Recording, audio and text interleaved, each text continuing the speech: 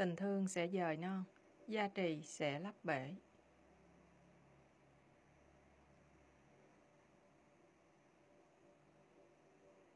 Ta đã nói với người Tàu và người Âu Lạc Việt Nam hôm qua rằng Pháp Quán Âm, những người tu Pháp Quán Âm sẽ dời non, sẽ lấp biển. Đúng vậy.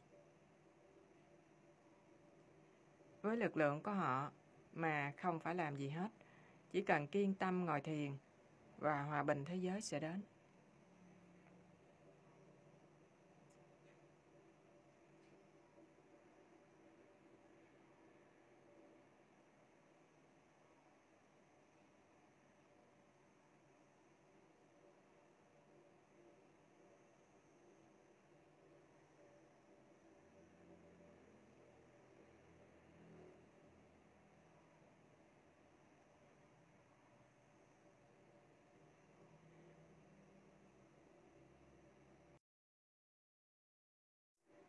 Đã có những thay đổi lớn lao ở Trung Hoa, những thay đổi lớn lao ở Formosa, Đài Loan, những thay đổi lớn lao ở Âu Lạc. Không nói hết được, quá nhiều quốc gia, nhưng chỉ nói với chị nghe vài quốc gia mà tôi biết, những thay đổi lớn lao cải biến to tác trong những quốc gia này. Mà trước kia không ai có thể tưởng tượng nổi là nó có thể xảy ra. Formosa và Trung Hoa đã bắt tay nhau. Mỗi ngày, người Trung Hoa có thể đi thăm người Formosa. Lâu lắm rồi chuyện đó chưa bao giờ xảy ra, mà bây giờ nó xảy ra.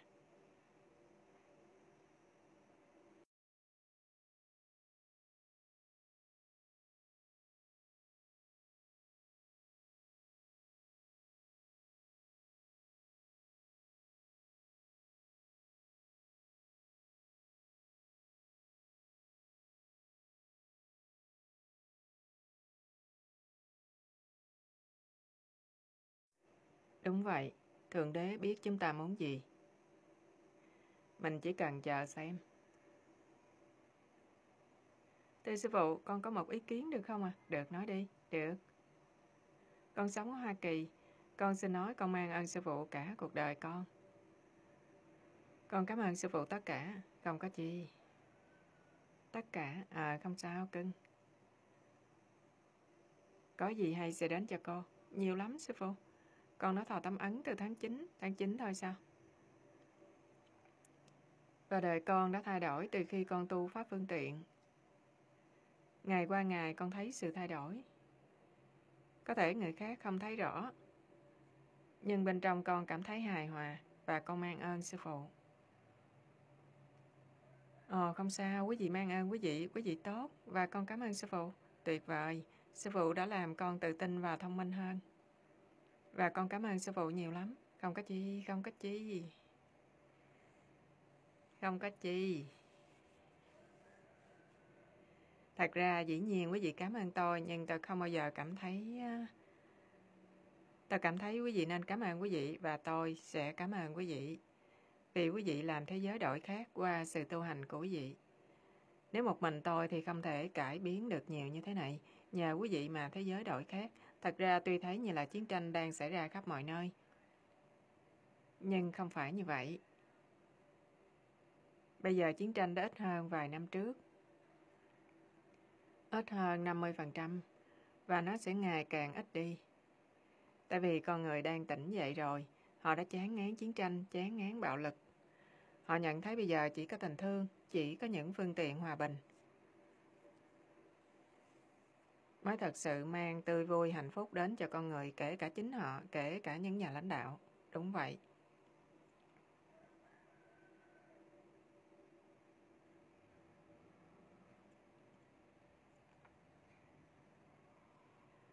Bây giờ bớt 50% rồi, bớt hơn 50% rồi. Tuy chiến tranh có vẻ vẫn còn nhiều nhưng bây giờ đỡ rồi. Mới vài năm nay nó đã bớt dần, bớt dần. Hòa bình thế giới thật tình có thể xảy ra. Có thể xảy ra, sẽ đến. Hoàng hồ.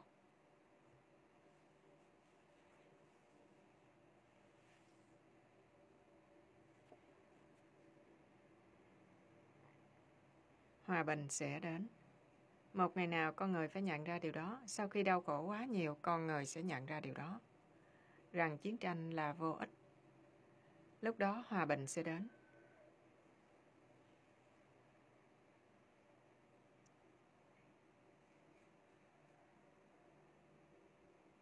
Trong quốc nội nữa, mọi sự sẽ mở ra, biên giới sẽ mở. Các quốc gia sẽ mở cửa cho nhau, mọi người sẽ bắt tay. Những nhà lãnh đạo sẽ ủng hộ lẫn nhau, họ sẽ hiểu nhau. Và hòa bình chắc chắn sẽ đến và một ngày không xa.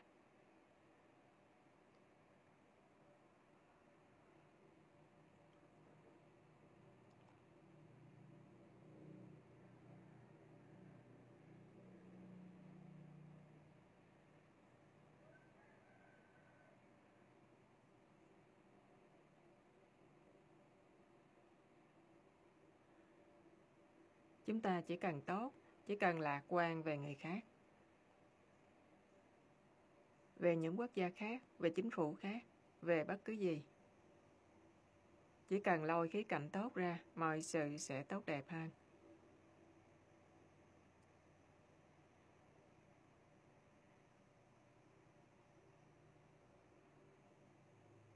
À,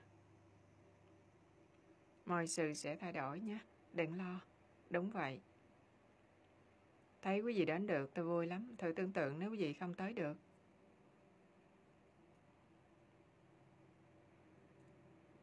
Vậy là chính phủ quý vị tốt lắm rồi.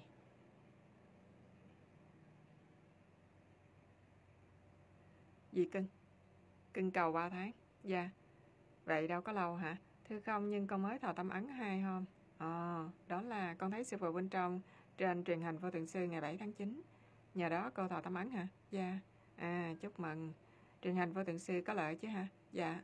Thấy chưa, nó vẫn là hệ thống rất tốt. Có thể coi trên mạng, quốc gia quý vị tự do. Thậm chí quý vị được ra đây gặp tôi, quốc gia quý vị tự do. Mình không thể có tự do tuyệt đối ở bất cứ quốc gia nào. Mỗi nước đều có cái gì đó, ok, nhưng tự do đủ cho quý vị được ra. Trong tương lai còn tự do hơn nữa. Ok, tuyệt vời, tuyệt vời, chúc mừng.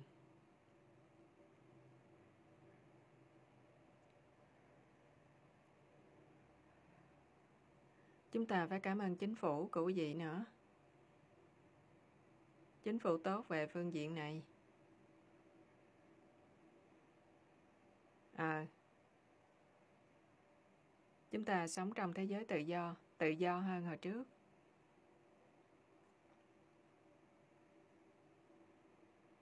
Chúng ta biết ơn những gì mình đang có. Chúng ta biết ơn về những cái tốt mà chúng ta đang có.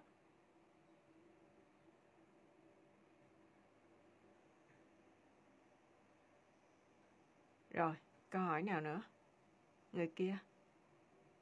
Họ hỏi thông minh nhỉ? Người ba tư họ hỏi những câu rất thông minh. Vậy nước quý vị không thể nào tệ hại. Đường lối của quý vị chắc là tốt tới mức độ nào đó. Rồi, cô gái kia. Rồi đến người nam. Nói đi.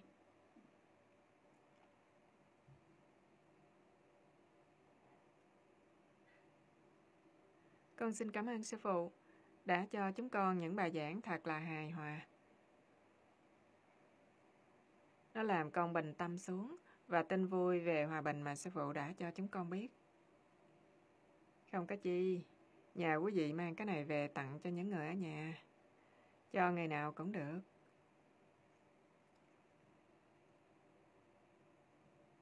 Nhiều tình thương trong đó. Cảm ơn sư phụ, cảm ơn sư phụ, cảm ơn sư phụ. Cô bé đó mấy tuổi? 13.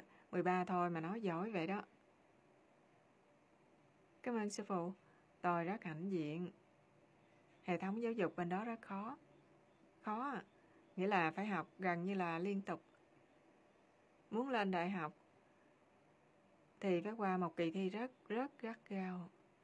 Thi khó chào ơi, Thảo nào. Dạ thi khó lắm, Thảo nào. Cho nên người dân họ học nhiều lắm vì đó là một cách để được tự do. Không cách này thì cách kia. À, tuyệt vời, tuyệt vời. Tuyệt vời, cảm ơn sư phụ. Ít ra nó cũng có những điểm tốt hả? Ý nói dân của quý vị nói chuyện rất rõ ràng, rành mạch. Người già lẫn trẻ. Vậy văn hóa quý vị chắc là có thanh thế lắm.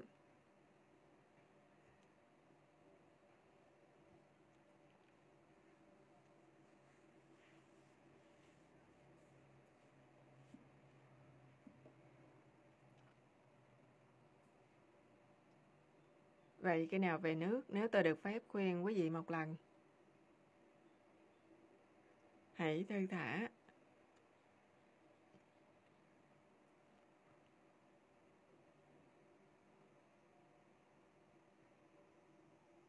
Bất cứ chuyện gì xảy ra, cứ thư thả. Đừng để áp lực nào làm ảnh hưởng tới mình.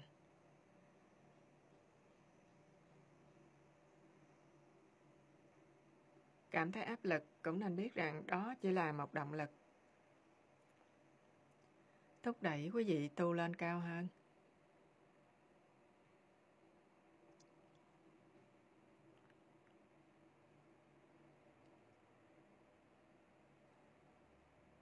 Cho nên hãy cảm ơn Allah bất cứ chuyện gì xảy ra. Mỗi ngày cứ cảm ơn Allah. Quý vị tới đây nghỉ lễ, đi ra biển. Có thể đi bộ ra biển. Khi về nhà, nếu có ai hỏi thì nói tôi đi biển Pattaya. Tôi đi chơi vui lắm. À, Thái Lan là một quốc gia tuyệt vời, hiếu khách. Và tôi gặp những người bạn rất tốt.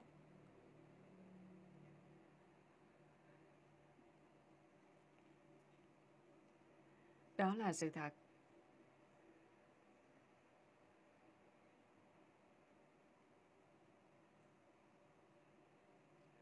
Rồi cười te toét nói rằng, chị hay anh đến Thái Lan đi, người nào hỏi đó.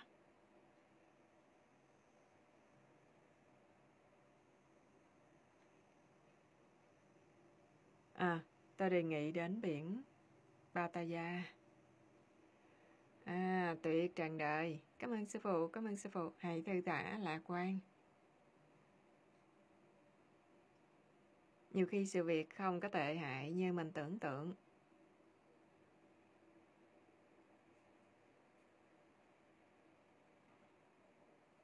Đôi khi chúng ta quen với ảnh hưởng xấu. Mà quên rằng Allah lúc nào cũng chăm sóc mình. Không để chuyện gì xảy ra cho mình.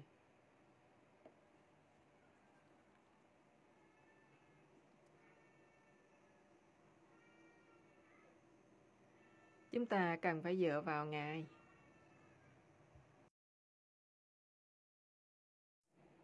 Luôn luôn niệm hồng danh bất cứ trường hợp nào.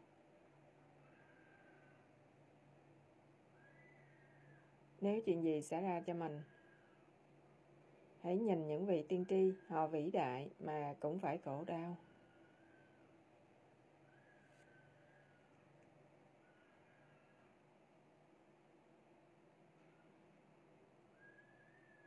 Nhưng nhờ vậy, họ càng vĩ đại. Người ta muốn tiêu diệt Ngài mà Ngài thành nổi tiếng hơn bao giờ hết. Giêsu, Mohammed, Phật, người ta muốn hại các ngài. Ngược lại, họ lại biến các Và ngài các thành anh hùng vĩnh viễn sĩ. Nhiều thế kỷ, con người vẫn còn cầu nguyện họ.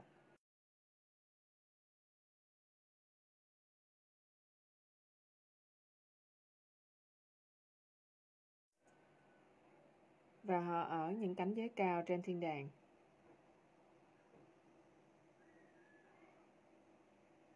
Mà không bị khiển trách, không danh vọng, khổ đau nào có thể đụng tới các ngài được nữa.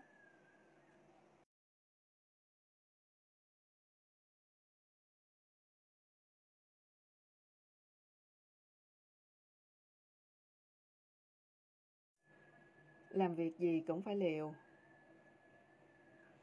Lấy chồng, lấy vợ, quý vị cũng phải liều bỏ tự do của mình. Liều bỏ tự do của mình.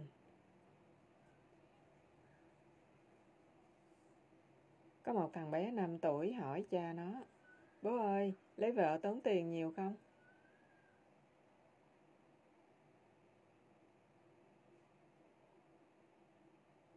Ông bố nói, Bố không biết con ơi, bây giờ bố vẫn còn phải trả.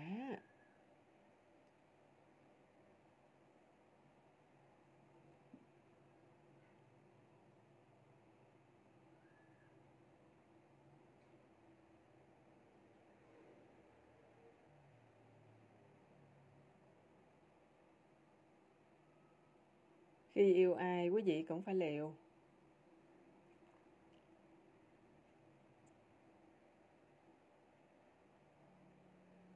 Vì người quý vị yêu, chưa chắc đã yêu quý vị như vậy.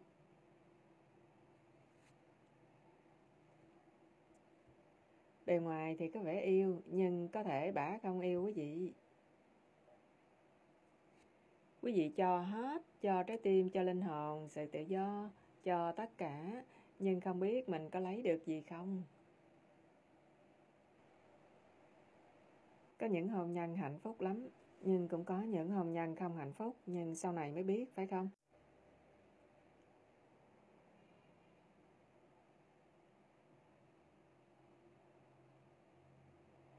Khi quyết định có con, quý vị phải liều lần nữa. Không biết được con cái mình sẽ như thế nào. Có tốt, có hiếu với mình không, có học giỏi không.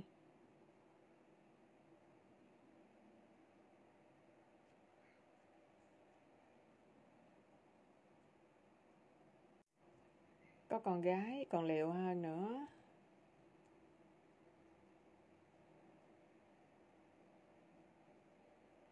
Quý vị hiểu tôi muốn nói gì? Khi mình mở kinh doanh hay xí nghiệp, mình bỏ liều vốn liếng. Không biết bán buôn có lời không? Không bao giờ biết được, việc gì cũng là mạo hiểm, phải không?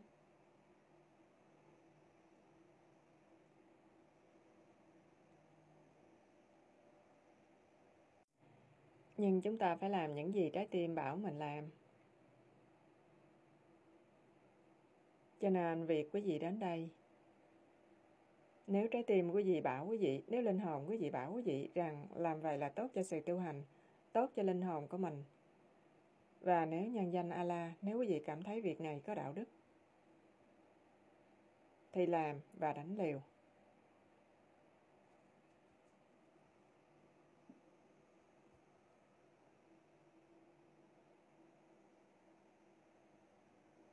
Tất cả những vị tiên tri họ đều đánh liều. Thậm chí không phải cho họ mà cho mọi người khác. Cho nên liều mạng cũng được, ít nhất cũng tốt cho linh hồn mình hoặc gia đình mình, thế hệ mình.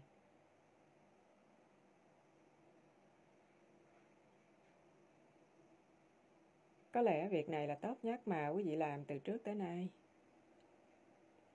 Có thể nó không có gì liều lĩnh cả, hiểu không? Không sao đâu, tôi nghĩ không sao đâu nhé. Tôi nghĩ bây giờ cả thế giới đã biết chúng ta là gì rồi. Họ có thể vào mạng xem. Tôi nghĩ từ khi nhận công việc này,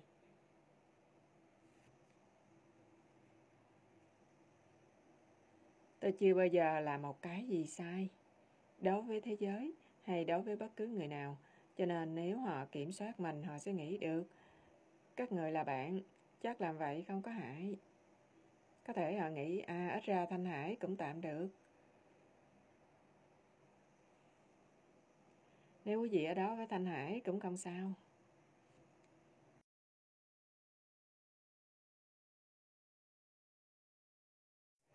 Ý nói là nếu họ biết ra quý vị đến với Thanh Hải, họ nghĩ à ít nhất mấy ngày này cũng đến gặp người đàn bà tạm được.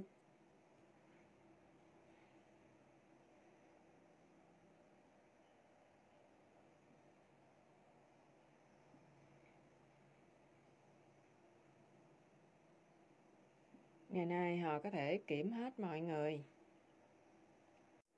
Họ có thể kiểm bất cứ chính phủ nào, người nào, từ trong ra ngoài. Có gì sai là mọi người biết hết. Nhưng không bao giờ biết được. Có một chuyện vui, một chuyện vui. Trong một nước kia nổi tiếng lắm. Họ có ba guồng máy cảnh sát. Thật ra đây là người ta chế nhạo một nước, nhưng tôi không muốn nói nước gì. Chỉ nói là trong một quốc gia hùng mạnh. Có ba guồng máy cai quản trong chính phủ. Có ba bộ cảnh sát.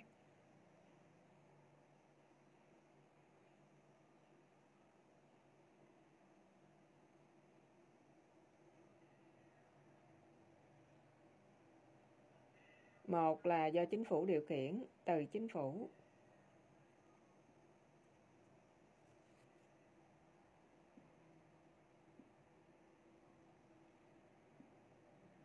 Y nói trực tiếp từ văn phòng tổng thống. Quyền thế nhất. Một là từ hệ thống điều tra trung ương. Quyền lực hạng nhì.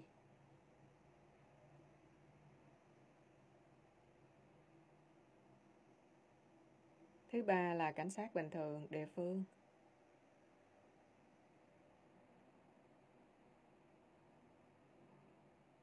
Nổi tiếng là hiệu lực. Vì tổng thống của nước đó muốn thử họ.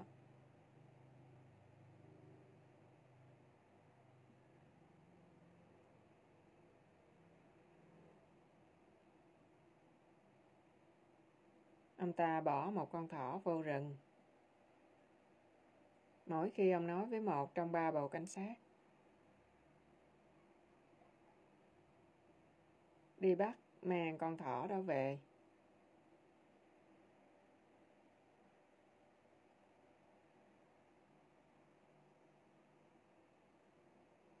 Thế là bộ thứ nhất trực tiếp từ cảnh sát phủ tổng thống đi vô rừng thực hiện cuộc điều tra rộng rãi.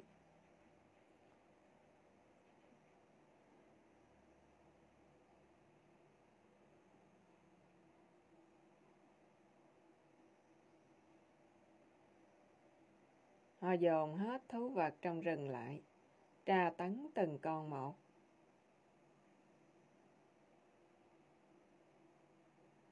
Rồi họ lượm hết tất cả đá rừng lại, tra tấn từng cục đá.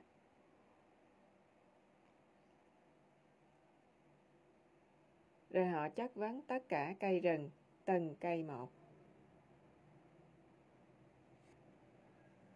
Và tất cả bông hoa, cỏ dại trong rừng.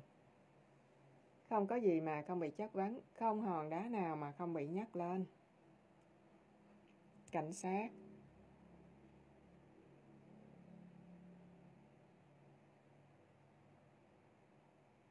Cảnh sát phủ tổng thống Ba tháng sau họ kết luận không có con thỏ ở đó.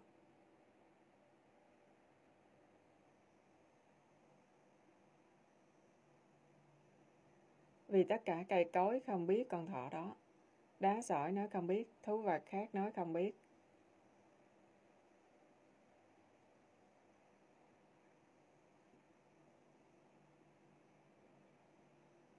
Rồi bộ cảnh sát giỏi thứ nhì chuyên điều tra và dò thám.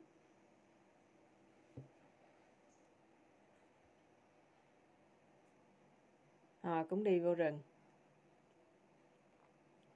Không tìm thấy con thỏ, họ đốt luôn khu rừng. Thủ tiêu dấu tích.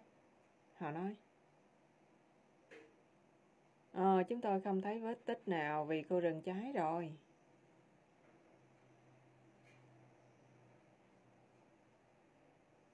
Rồi bây giờ tới phiên cảnh sát bộ 3, cảnh sát địa phương.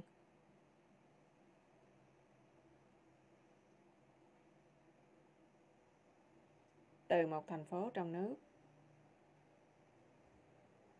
Họ vô rừng. Sau đó người ta thấy họ đi ra mang theo con gấu.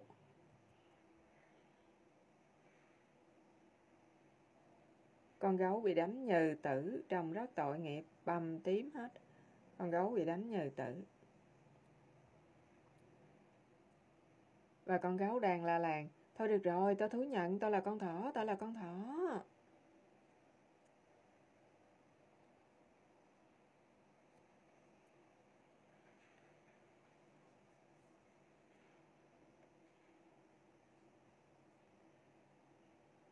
Biết đâu đó, những chuyện này kể cho vui thôi nha. Hy vọng nước quý vị không phải như vậy. Tôi nghĩ quốc gia quý vị khai ngộ hơn. À, nói đi. Nghĩ xấu trước khi hành động có bị nghiệp chướng không à? Có thể có, có thể không. Nhiều khi nó là vì nghiệp xấu từ kiếp trước. Hoặc đôi khi nghiệp chướng từ những hành động mà mình làm khi mình còn trẻ, những ngày qua. Đôi khi mình bị ảnh hưởng bởi những người xung quanh.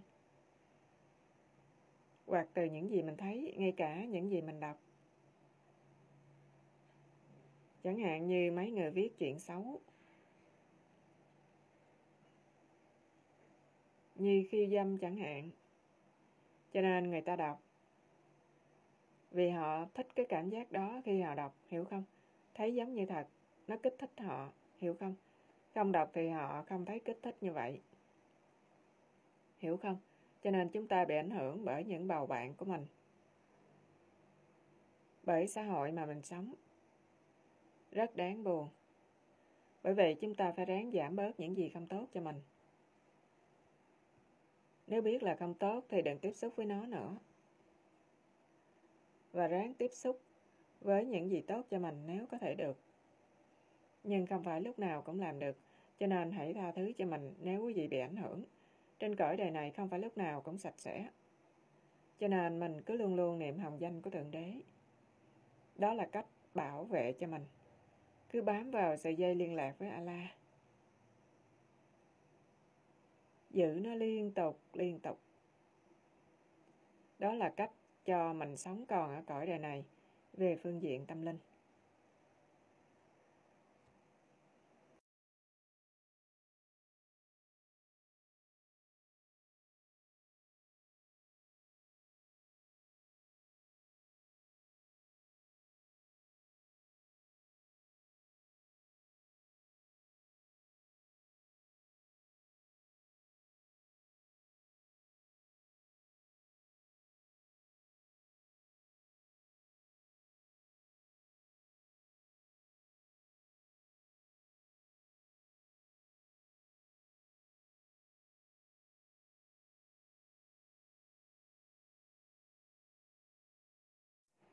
Bao nhiêu lần quý vị muốn uống thí dụ như bia hay nước ngọt?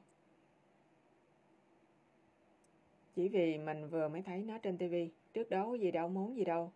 Đâu nghĩ tới chuyện đó, thấy quảng cáo rồi mới vô tủ lạnh.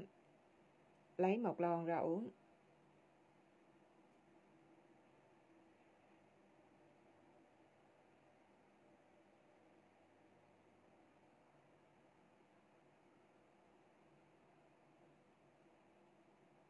Tôi nghĩ trong nước quý vị rượu bị cấm. Dạ, thấy không? Quý vị phải nên vui lên.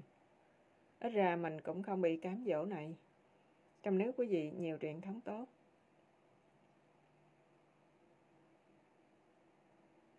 Truyền thống cũ tôi cũng thích lắm.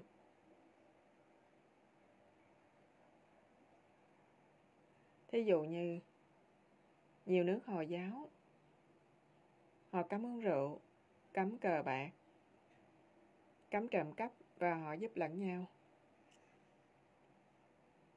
Ngay cả chính phủ cũng giúp xây nhà cho người nghèo. Họ thật tình săn sóc cho dân.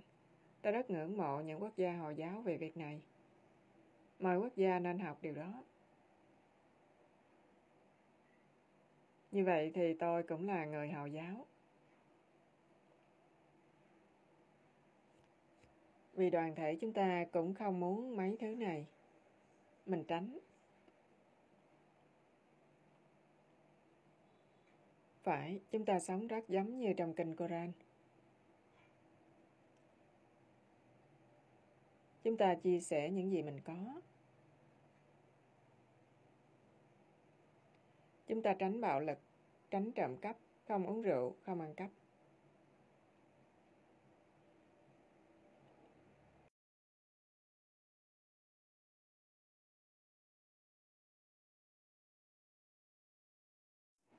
Và trong các quốc gia Hồi giáo có một điều cũng rất tốt.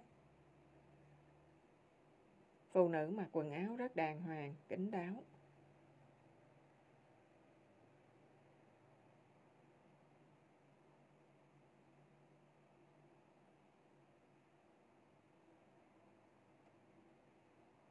Đó là điểm rất tốt. Nhưng một số người trên thế giới không hiểu chuyện đó. Khi họ mặc đồ như vậy, người ta kính trọng hơn. Họ không nhìn đàn bà như một món đồ tình dục,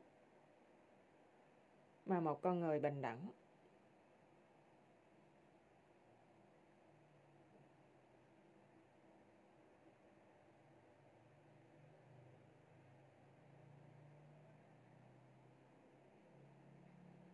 Đó chỉ là để bảo vệ người phụ nữ, cho họ thêm kính trọng.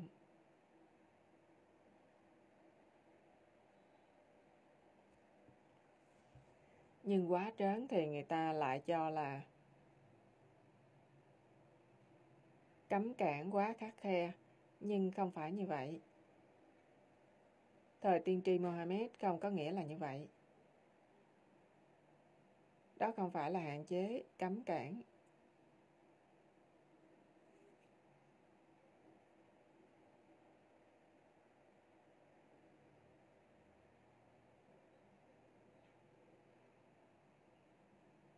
thấy biết bao nhiêu chiến tranh xảy ra, biết bao nhiêu vấn đề khổ sở xảy ra. Chỉ vì phụ nữ không được kính trọng. Như một sáng tác khác của Thượng Đế, nhưng lại giống như một món đồ tình dục. Nhiều cuộc chiến xảy ra cũng vì vậy.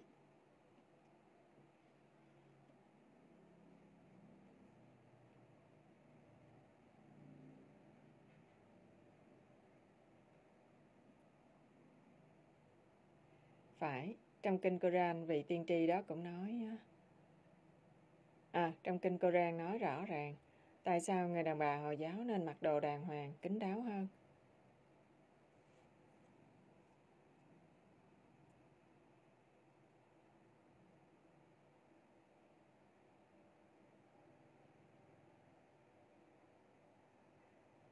Quý vị biết hết kinh Koran rồi tôi chỉ nói với mấy người chưa biết, những người không phải Hồi giáo.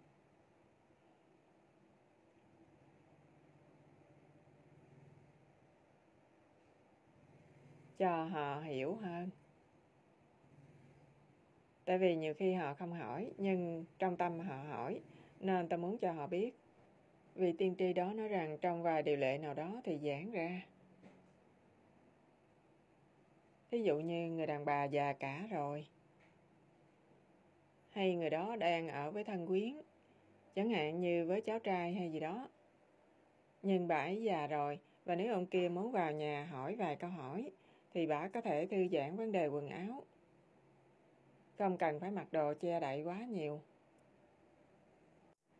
Mà một bộ đồ rộng rãi thì được rồi, miễn là đừng có phô bài thân thể cho người ta thấy mình quyến rũ. Nghĩa là đừng có phô bài thân hình nhiều quá. Rõ ràng quá mà.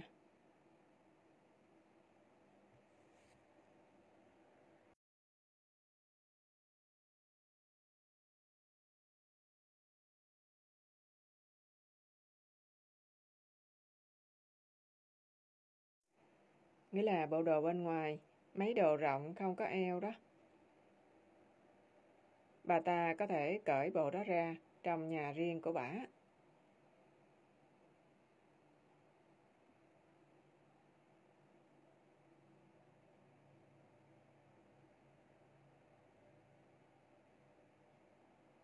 Điều đó rất rõ ràng. Vì tiên tri đó biết sức quyến rũ của người đàn bà, gây khó khăn cho chính họ và cho người khác.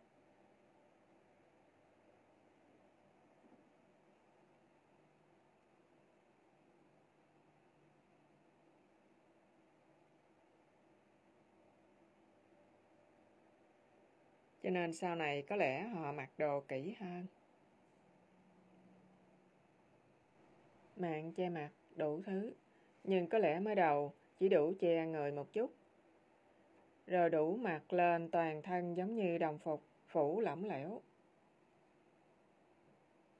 Như cái áo ta mặc ở hùng gia lợi, thí dụ vậy.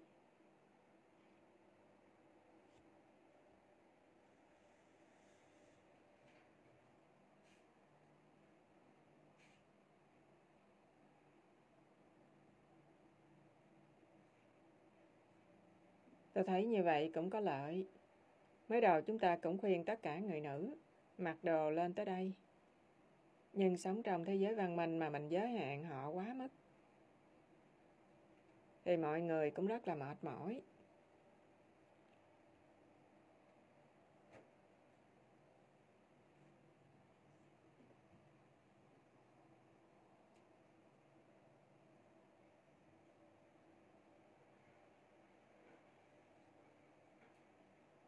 Nhưng ít nhất tôi cũng nói một điều, thái độ quý vị rất là quan trọng.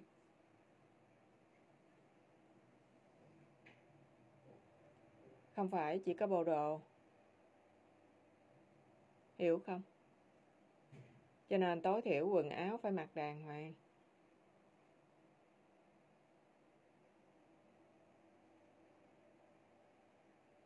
Ăn vặn nghiêm trang. À, vậy đó. Cho nên, một số người có thể nói, Ôi, người Hồi giáo gắt gao quá này nọ, nhưng rượu chè ma túy tốt chỗ nào? Thuốc lá tốt chỗ nào? Cho dù quý vị không phải là người Hồi giáo.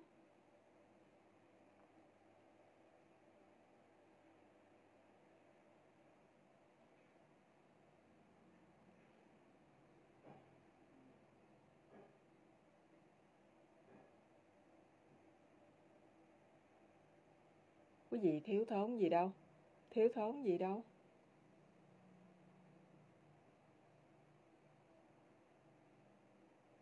Cờ bạc sẽ làm mình tán gia bại sản.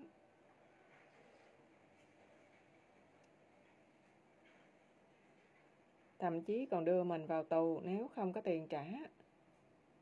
Nếu thua sạch tiền. Rượu là mình mất trí khôn, phẩm cách và tự chủ.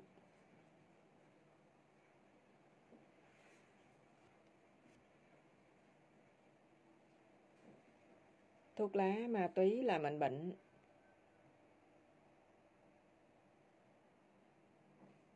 Cho nên quý vị không thiếu gì cả. Tôi nghĩ nhiều quốc gia nên cấm tất cả những thứ này. Tôi nghĩ họ sẽ sắp sửa xảy ra. Nhiều quốc gia bây giờ hạn chế trên nhãn hiệu bán thuốc lá, hạn chế, hạn chế hoài. Chúng ta sắp thành người Hồi giáo hết.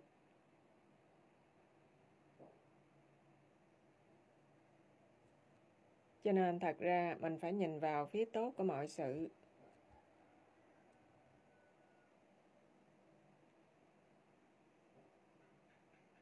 Tôi nghĩ quý vị không nên sợ.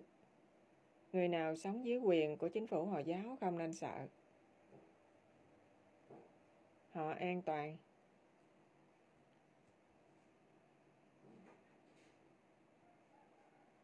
Dù họ không học pháp quán âm, ít nhất họ cũng an toàn. Ngồi đây đây đây. Ngồi đây tốt hơn. Ngồi đi, đó là cái gối mà. Ngồi thì tốt hơn cho quý vị vì quý vị không quen. Ngồi dưới sàn lâu quá, chúng con quen rồi. Quen hả? Chúng con quen rồi, chúng con ngồi dưới sàn nhiều lắm. Ồ, oh, vì quý vị cầu nguyện ngày năm lần. Ta biết, ta biết, hệ thống nó tốt. Ít ra quý vị cũng cầu nguyện mỗi ngày.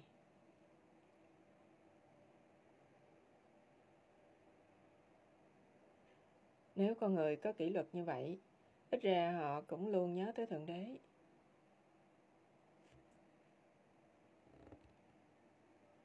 Hệ thống rất tốt.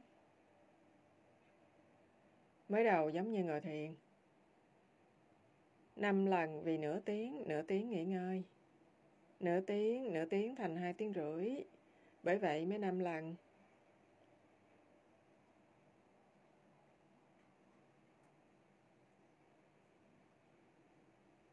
Vì chúng ta không có nhiều thời gian ngồi thiền. Và trong thời của tiên tri Mohammed, họ bị quấy rối Họ bị đuổi ra khỏi nước này sang nước kia, nên họ chỉ ngồi thiền là lẹ, mỗi lần nửa tiếng.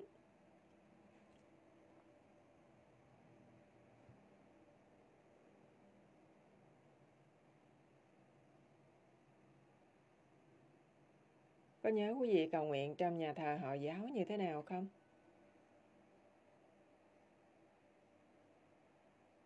Chỉ khác một phần tay thôi. và quán âm thanh. Phải không? Dạ.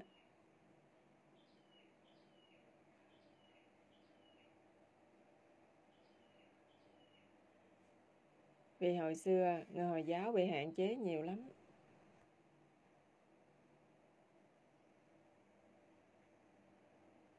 Ngay cả bây giờ cũng vậy, chúng ta cũng bị hạn chế một cách khác, nên họ phải có mặt mã. Khi gặp nhau họ biết đây là... hiểu không? Hoặc họ làm như vậy. Nhưng người ngoài họ không biết bí mật đó. Họ chỉ thấy mấy người đó làm như thế. Họ về nhà làm như vậy, rồi nói đó là Hồi giáo, rồi họ tiếp tục truyền thống ấy. Sau khi vị tiên tri đó qua đời, không ai biết sự khác biệt.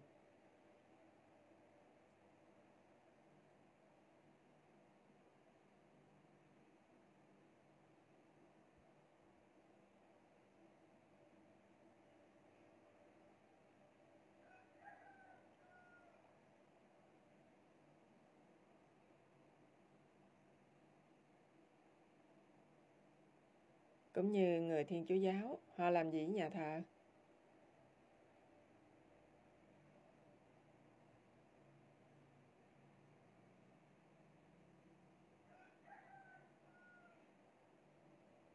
Nhìn nè, mắt trí huệ, tên năm vị, quán âm. Đó là mặt hiệu họ dùng để chào đón nhau. Nhưng sau này nó đi xuống ờ,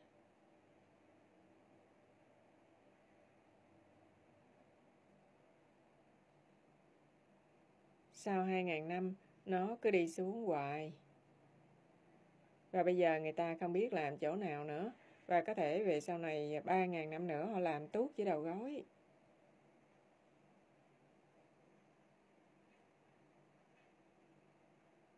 Biết đâu đó, càng lâu càng thấp phải không? Ta chỉ nói với quý vị biết dấu vết chứng minh pháp môn quán âm.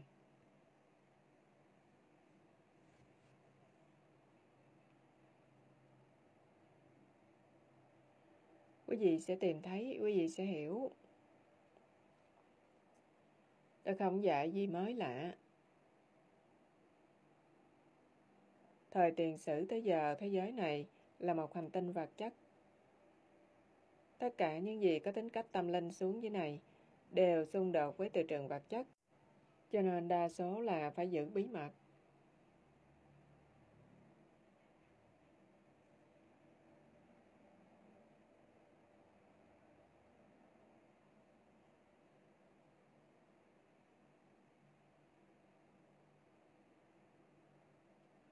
Tôi nghĩ tất cả dân Hồi giáo không nên cảm thấy chính phủ họ kềm chế quá mức hay là hạn chế quá mức. Không nên, chỉ cần thư thả.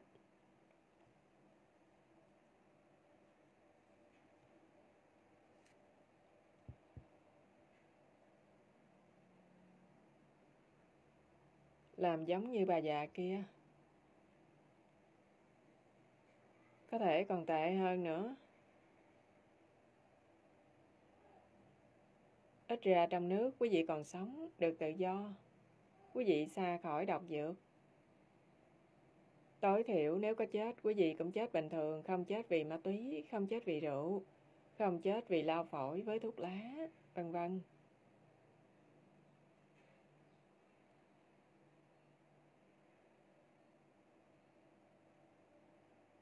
Do đó quý vị coi khỏe mạnh, đẹp đẽ,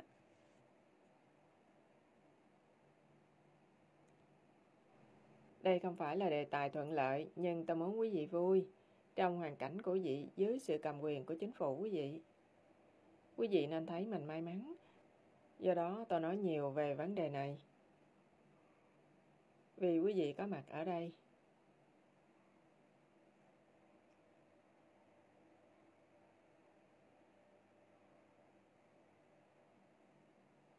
Tôi nghĩ những nước Hồi giáo nhiều chính phủ dường như hạn chế vì họ muốn bảo vệ dân của họ.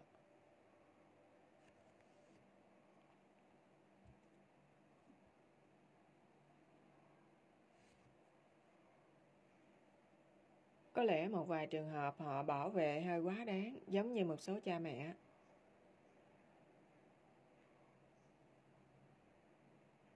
Nhưng không thể nào Có những nơi còn tệ hơn vậy nữa. Thấy không? Chính phủ và hệ thống các quốc gia Hồi giáo. Họ sợ dân của họ bị ngộ độc. Bởi lề lối suy nghĩ khác, bởi uống rượu. Nếu họ tiếp xúc với những đường lối khác, những sự suy nghĩ khác, hiểu không? Hoặc là dùng ma túy, như vậy không tốt cho họ.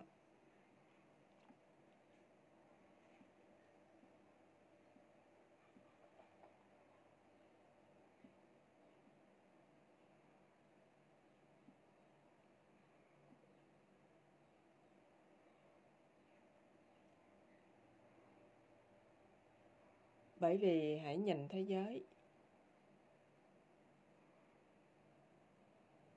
Trẻ em chưa chi đã nghiền ma túy, ốm đau khi nó còn trẻ.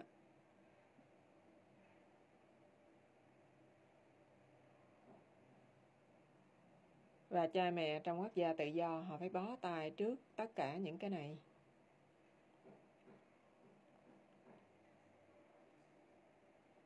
Cho nên tối thiểu trong quốc gia quý vị, con cái quý vị cũng được an toàn.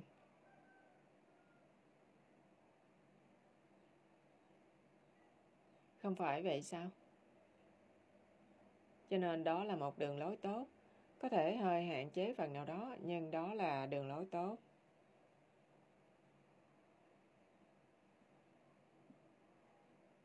Tôi biết ơn là tất cả trẻ con trong nước Hồi giáo không biết gì về ma túy, không bao giờ đụng tới rượu, không hút thuốc lá. Tôi rất biết ơn chuyện đó. Dù họ không bao giờ tu pháp quán âm, ít ra họ cũng không mắc phải những chất độc này. Tôi rất cảm ơn đường lối của Hồi giáo.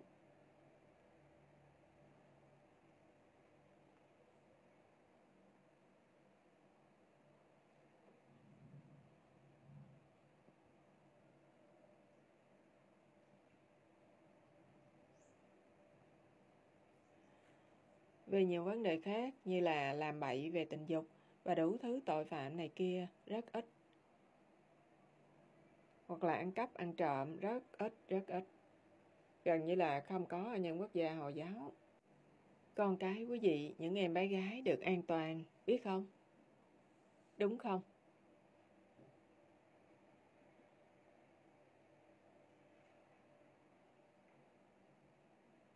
Hãy nhìn điểm đó, hãy vui vẻ và biết ơn.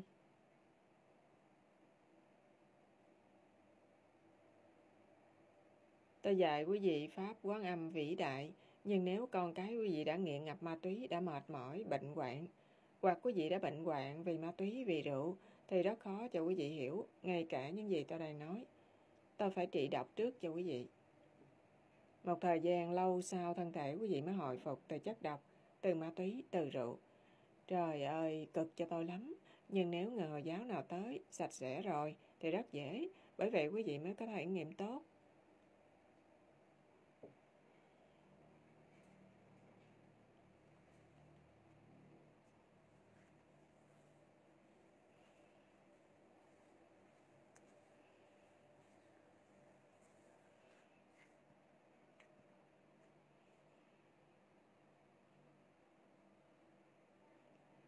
Nhiều người trong những nước tự do không phải nước Hồi giáo.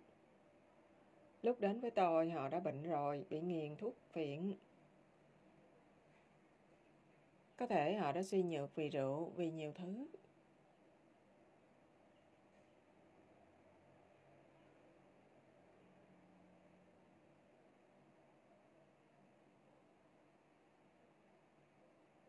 Thành thử họ suy nghĩ không được sáng suốt, tâm thần họ không được hoàn toàn.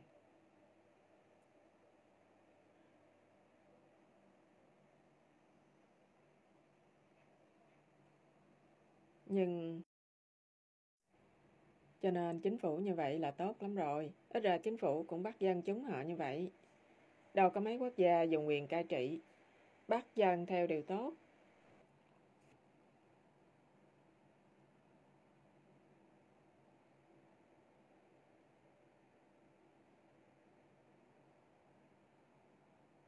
Nhưng vì họ sợ thế giới tự do.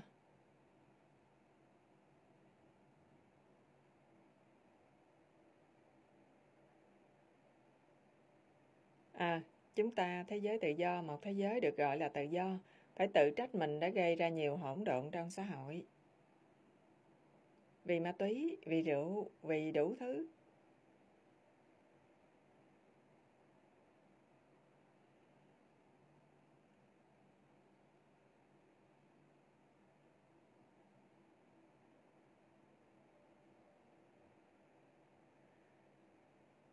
Và những kiểu quần áo đẹp đẽ làm phụ nữ chúng ta đi ra ngoài đường không có an toàn.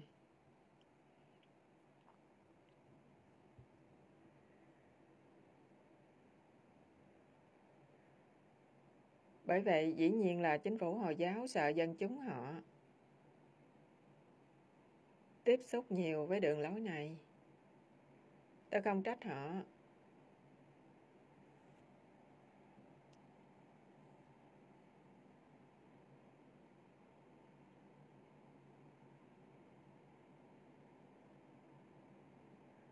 tự do quá trớn. Có thể họ ít tự do, nhưng thế giới tự do có quá nhiều tự do. Nên cân bằng thì tốt hơn.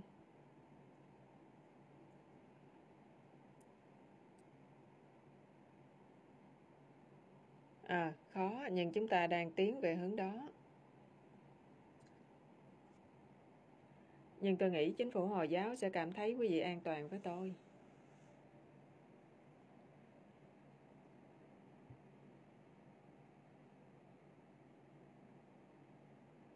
Bởi vì chúng ta cũng sống theo kỷ luật trong kinh Koran.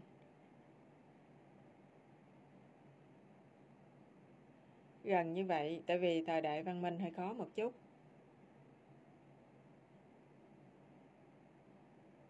Rồi, bây giờ quý vị có thể hỏi câu hỏi.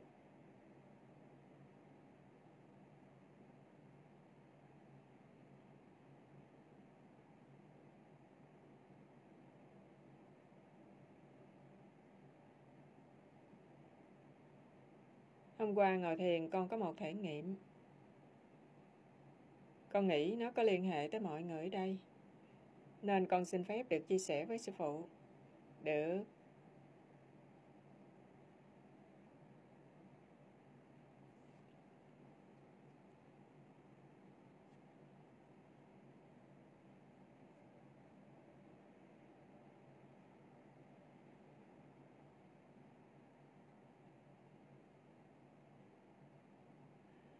Trong thể nghiệm, con trông thấy sư phụ nâng con lên một cảnh giới cao hơn. Chắc chắn sư phụ cũng đã làm như vậy cho mọi người ở đây. Con xin cảm ơn sư phụ chuyện đó. Không có chi, không có chi.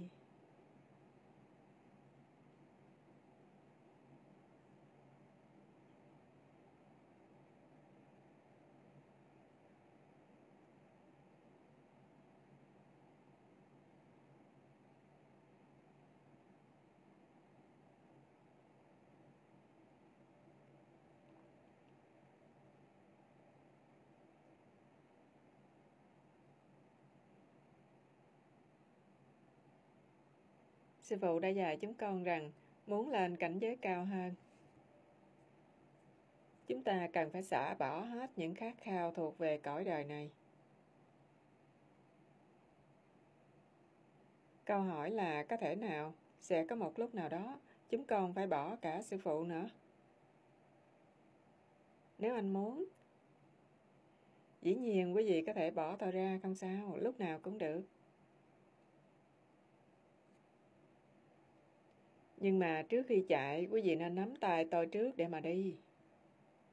Sau này quý vị chạy một mình.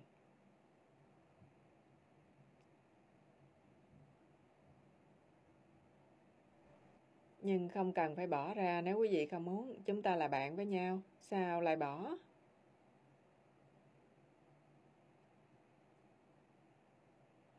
Nhưng chỉ bỏ sự ràng buộc về thể chất thôi. Còn tâm linh thì chúng ta thành một với nhau.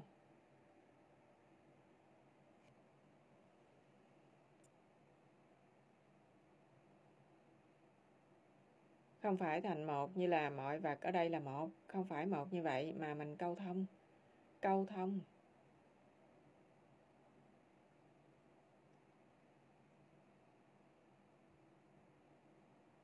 Để tôi có thể giúp quý vị đi lên chỗ tôi đang đi lên.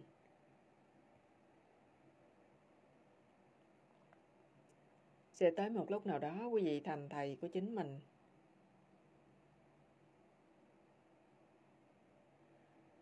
Nhưng quý vị buông ra như là tôi cũng không biết, tùy người. Không biết họ có buông được tôi hay không. 20 năm rồi mà vẫn khóc lóc khi họ gặp tôi. Tôi không hiểu mấy người này. Vậy anh có thể dạy họ buông ra làm sao?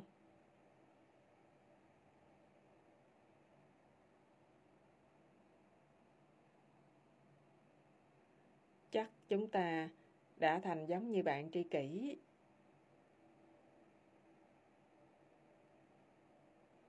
cho nên sẽ không cảm thấy mình chấp vào cái nhục thể hay muốn gần gũi. Nhưng lại cảm thấy rất gần.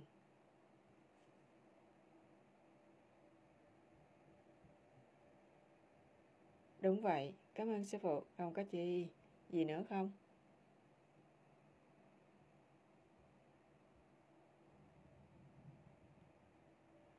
Con mừng bởi vì hồi nãy con lo sư phụ sẽ nói, không, sau một thời gian không nên lệ thuộc vào sư phụ nữa. Không nên lệ thuộc? Ờ, hiểu rồi. Con mừng là không phải buông sư phụ ra. Đó là khác, đó không phải là ràng buộc. Đó chỉ là cảm giác đồng một thể.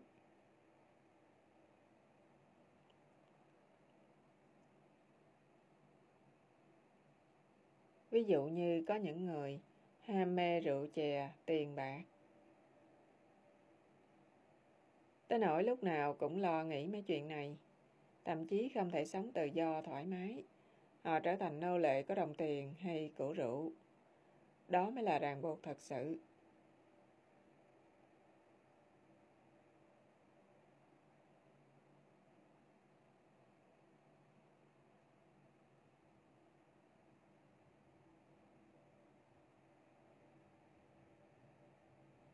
Họ quỷ hoại ngay chính họ. Nhưng tình bạn của chúng ta làm cả hai bên vui sướng.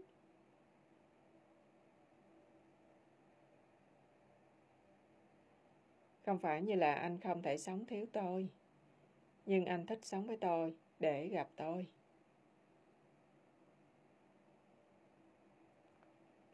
Ràng buộc giống như là con người, không thể sống thiếu đàn bà, ngày nào cũng cần cô ta. Họ không thể sống thiếu đồng tiền mỗi ngày mỗi muốn, muốn thêm.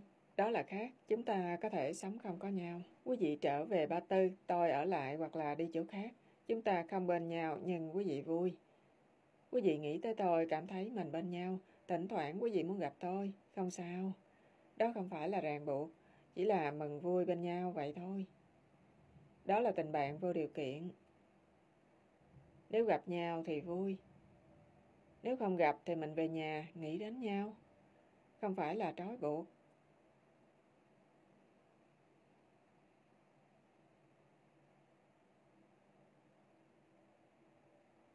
Đó không phải là ràng buộc gì cả, hiểu chưa?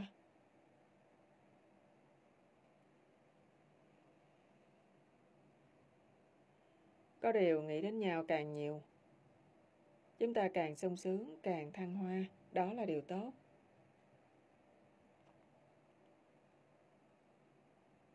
Rồi, hỏi gì nữa không? Chúng ta có thể hỏi nữa ngày mai hay ngày mốt.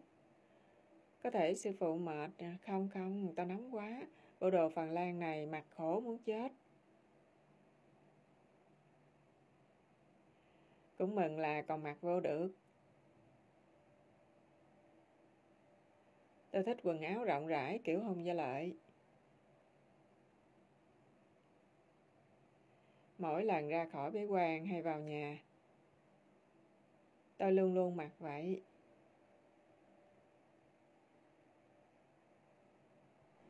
Nhiều khi không có mặt quý vị, hoặc không phải quảng cáo quần áo, tôi chỉ mặc bộ đó thôi. Đi chợ có mặc, lên máy bay cũng mặc. Kiểu không gia lợi giống như Hồi giáo, thẳng băng.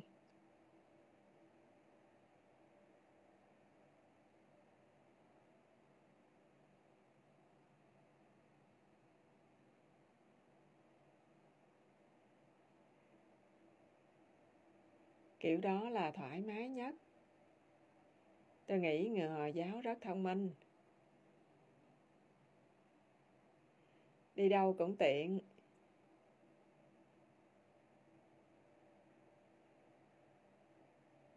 Có người lại chỗ tôi. Có vài người đàn bà lại chỗ tôi. Vì đôi khi trời lạnh mình cũng đội cái khăn quàng trên đầu. Và mặc đồ đó. Họ đến chỗ tôi họ hỏi, Ngài có phải người Hồi giáo không?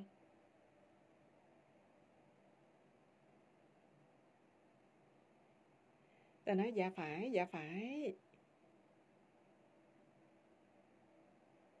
Dạ đúng, dạ đúng.